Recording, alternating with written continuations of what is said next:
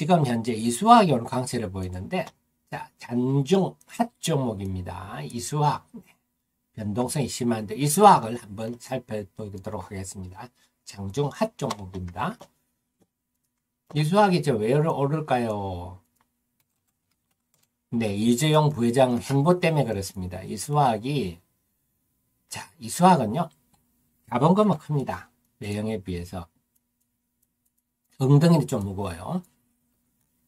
그래서 이수학은 어, 기존의 제품 가지고는 이게 뭐 일반적인 뭐 세제나 뭐 이런 데 들어가는 거를 볼 게 없는데 요것 때문에 올라갑니다. 황화리튬, 전고체 배터리, 삼성, 네, 이재용 부회장이 삼성 SDI 가가지고 전고체 배터리를 점검했다.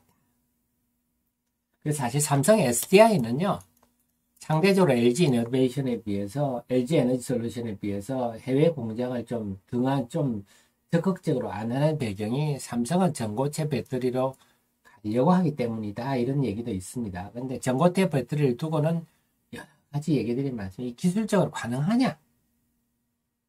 그리고 전고체 배터리를 만들어도 비싼 거를 쓰겠냐? 네. 뭐 여러 가지 얘기들이 있는데 어쨌거나 전고체 전해질 자, 이 전해질 기억나시죠? 네. 우리가 electrolyte죠.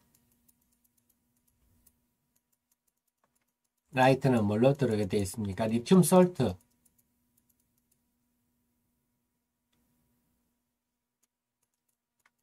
그 다음에 solvent.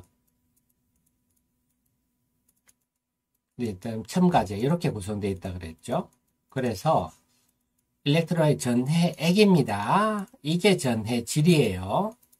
그래서 많은 언론 기사들 보면 전해액과 전해질을 구분하라고 혼용을 하는 바람에 헷갈립니다. 그래서 원어로 딱 해버리는데요. 그래서 이 전해질 요거네요. 네, 전고체 배터리에 황화리튬이 네, 리튬 salt 역할을 하는 모양입니다. 전고체 전해질의 원료다. 그래서 이걸 지금 일부 정도 시범하고 있죠. 지금 이 국책과제입니다. 국책과제. 데모 플랜트 아직 완공했다는 얘기는 아직 못 나왔어요. 사실은요. 그래서 연 20톤 규모 정도 지금 데모 플랜트를 해보겠다는데 아직 완공했다는 얘기는 못 들었는데요. 그래서 지금 이 이수학이 근데 이 이수학이 그래서 이번에 이거 하는데 또 수산의 리튬이 필요해서 이거를 그 하이드로로부터 지난번에 600kg 한번 사가고요. 이번에 400kg 사갔다. 많이는 안 필요하죠. 지금 이거 하는데 무슨 지금 데모 플랜트 하는데 뭐 많이 필요하겠습니까? 네.